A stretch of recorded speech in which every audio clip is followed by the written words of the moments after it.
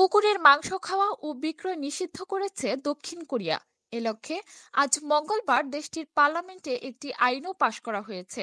নতুন এই আইনের ফলে দেশটিতে কুকুরের মাংস খাওয়া ও বিক্রির শত বছরেরও বেশি পুরনো যে প্রথা ছিল, তা বন্ধ হয়ে যাবে আনুষ্ঠানিকভাবে। মূলত দেশটিতে প্রাণীদের কল্যাণের বিষয়টি নিয়ে ক্রমবর্ধমান আন্দোলনের মুখে দেশটির সরকার এই আইন পাশ করেছে। কোরিয়ায় তীব্র শুষ্ক গ্রীষ্মের সময় কুকুরের মাংস খাওয়াকে শরীরের শক্তি বাড়ানোর অন্যতম উপায় বলে বিবেচনা করা হতো। তবে সেই বিষয়টি এখন আর নেই।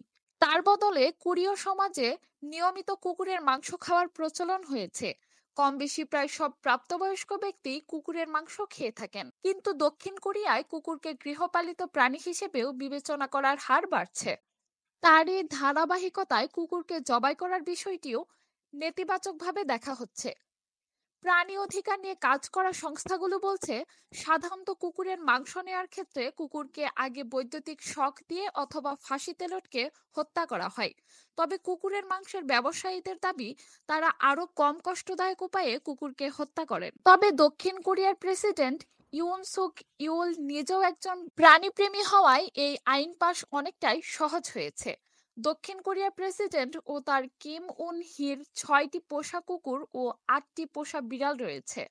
দক্ষিণ কোরিয়ার প্রেসিডেন্ট নিজেই কুকুরের মাংস খাওয়ার বিরুদ্ধে সরব। দক্ষিণ কোরিয়ার ক্ষমতাসীন দল পিপল পাওয়ার পার্টি দেশটির পার্লামেন্টে এই বিলটি উপস্থাপন করে। দুইশো দশ আসন বিশিষ্ট পার্লামেন্টে বিলটি দুইশো আট ভোট পেয়ে এক প্রকার নজিরবিহীনভাবে পাশ হয়ে যায়। দুজন আইন প্রণেতা ভোট দেওয়া থেকে বিরত ছিলেন। পরে পার্লামেন্টের কৃষি বিষয়ক কমিটি আইনটি অনুমোদন দেয়। পরে আজ মঙ্গলবার থেকে এই আইনটি কার্যকর হয়। বিলটি আইনে পরিণত হলেও এখনই তা কার্যকর হবে না।